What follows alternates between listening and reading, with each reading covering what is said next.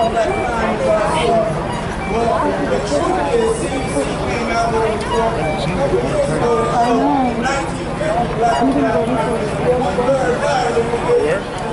2013. In 1970, it was 75% higher. So look, in the civil rights movement that we've all been told is the is, is the, the, the only time it was okay to rebel. Black on black crime was higher than now. And the truth is this, that if you wanted to stop, if you really wanted a program to stop black on black crime, you would need a program that changed the way the system operates. Because When we talk about violence in the black community, when we talk about violence in communities of color, we're talking about the same violence that exists right, right here everywhere. All business needs violence to regulate itself. If you don't enough jobs, those folks that don't have a job are going to have to make money.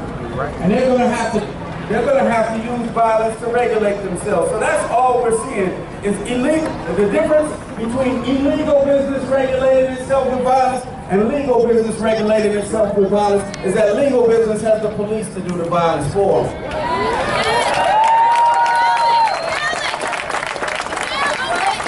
So the struggle to end police violence is the same, is part of the same struggle to have economic justice for, for, for all of us here.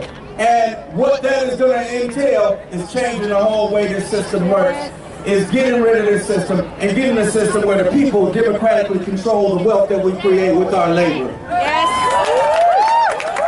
Thank you all for coming out tonight, today. I'm, only going to say this real, real quick because Cat Brooks right here been shouting people out all day. And what people don't realize, besides her being a, pol- a political activist, a mother and a warrior, she's been up three days doing this 96 hours, making herself hoarse. I'm talking about the originator of one of these organized committees.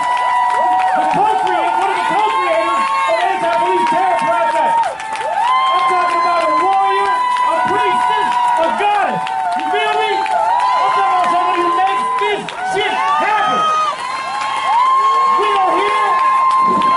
We are here in a major part of this woman's egress because she puts shit together. And you know what she does it for? She don't do it for herself.